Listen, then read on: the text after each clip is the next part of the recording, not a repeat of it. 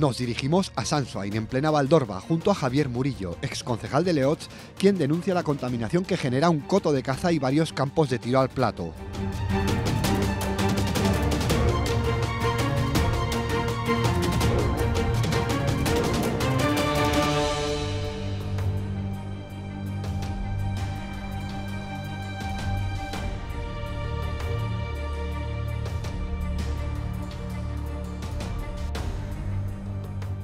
Yo he sido concejal del Ayuntamiento de Leoz eh, hasta hace unos meses en el que presenté mi dimisión. También fui concejal en la anterior legislatura y bueno, mi empeño ha sido principalmente denunciar los hechos que estaban ocurriendo aquí, ¿no?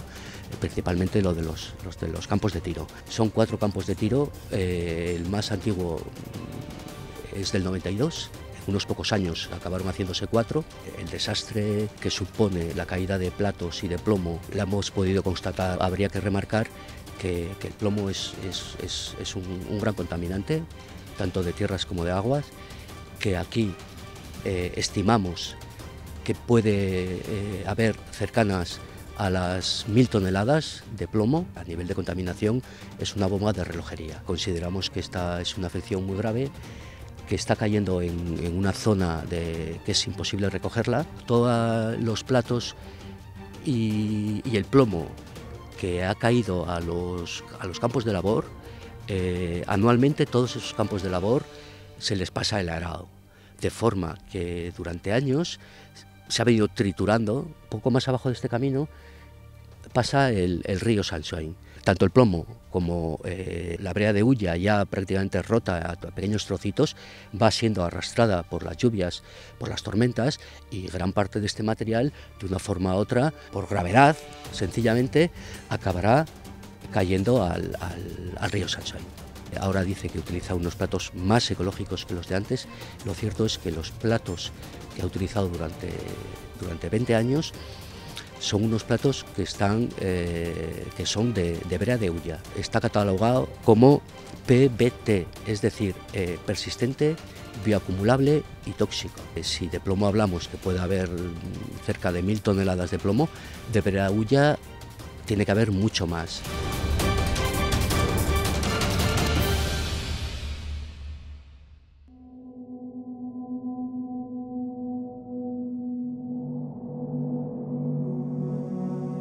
Que considerar que toda esta actividad, tanto la de la cinegética intensiva como los, campos de tiro, están dentro de una zona de especial conservación, la zona de especial conservación Montes de Valdorba. Entre las afecciones del coto en sí, podríamos destacar la práctica desaparición de de la antaño excelente población de aves rapaces que había en este lugar. Más del 80% de aquella población de rapaces ha desaparecido. Y esto está constatado por estudios además. Javier nos revela un dato espeluznante. Parece ser que una de las actividades del coto es la suelta de animales criados en granjas para ser cazados. Desde hace unos tres años eh, alguien ha liberado aquí eh, una, una gran cantidad de muflones. El muflón es una especie, en, apariencia, parece una cabra montés, pero no tiene que ver nada con las cabras. Es una especie alóctona.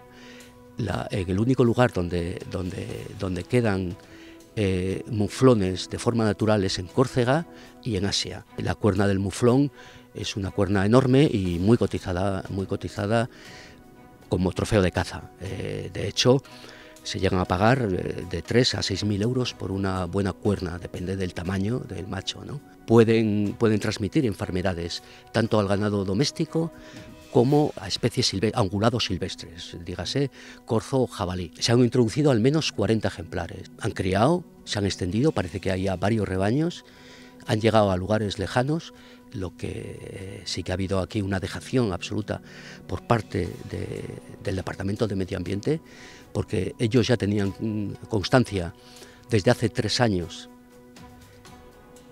que había muflones aquí y han mirado para otro lado. Solucionar esto es, mm, eh, va a suponer un coste para las arcas públicas y para eh, el bolsillo de los contribuyentes, que al final somos los que vamos a pagar por la operación costosa, ya que se han extendido a otras zonas.